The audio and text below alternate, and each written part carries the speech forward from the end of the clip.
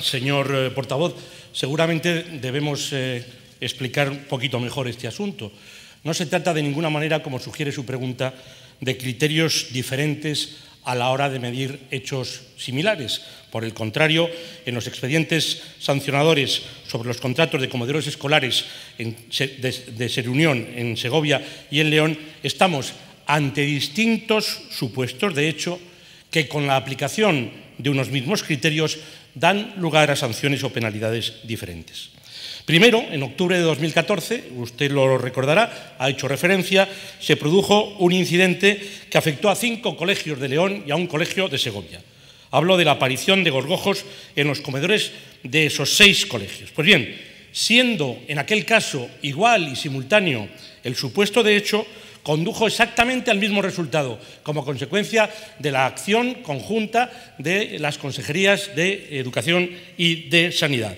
La aplicación de penalidades por incumplimiento del contrato, tanto en León como en Segovia, por un total de 45.101 euros, en concreto 14.101 en Segovia y 31.000 en León, a lo que se unió la sanción de otros 24.000 euros en la Consejería de Sanidad.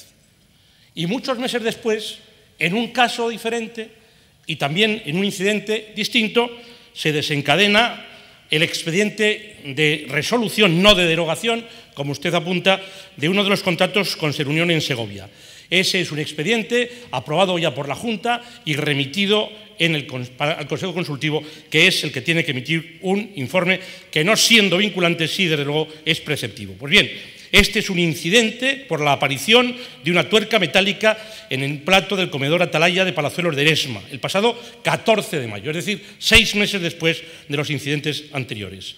Esto constituye un incumplimiento contractual, desde luego solo afecta al colegio en el que aparece la tuerca y desde luego por definición y aplicación de la legislación tanto de contratación administrativa como cláusula de los contratos, solo puede afectar al contrato en cuyo seno se produce, de tal manera que no se ajustaría a derecho y lo perdería la comunidad extender las consecuencias jurídicas de ese expediente de resolución a otros contratos gestionados por la misma empresa, Ser Unión.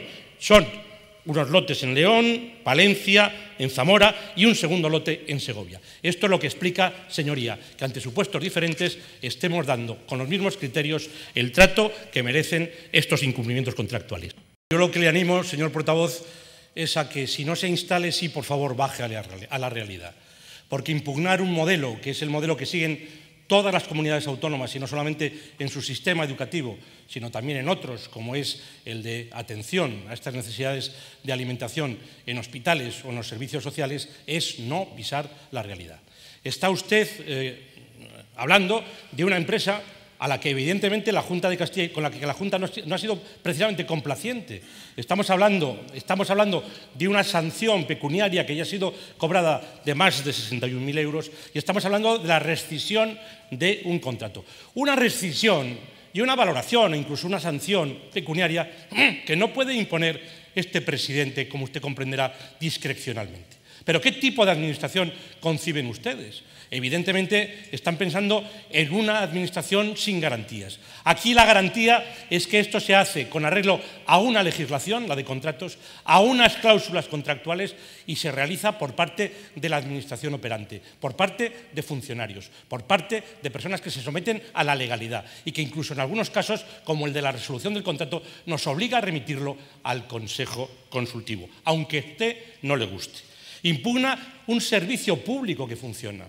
502 comedores escolares, 42.000 alumnos todos los días usuarios de ese servicio de comedor.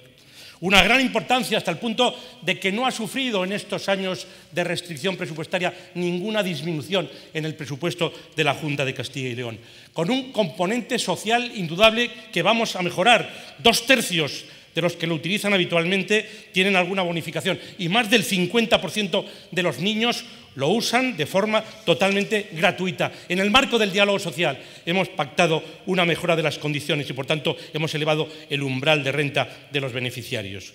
La salud de los alumnos es lo primero Y este es un servicio que, mal que le pese, señoría, es bien valorado por sus usuarios. En la primera encuesta piloto estamos hablando de casi un 7 de valoración por parte de los padres. Nunca va a ser esa alimentación como la que los niños reciben en casa, pero indudablemente está constatado que esta tiene ventajas respecto de cualquier otro modelo. De un total de 5.310.000 menús servidos durante el curso pasado, la comunidad ha recibido 482 sugerencias. Y, en definitiva, vamos a mejorar ese servicio. Pero ese es un servicio del que nos sentimos extraordinariamente orgullosos. Muchas gracias.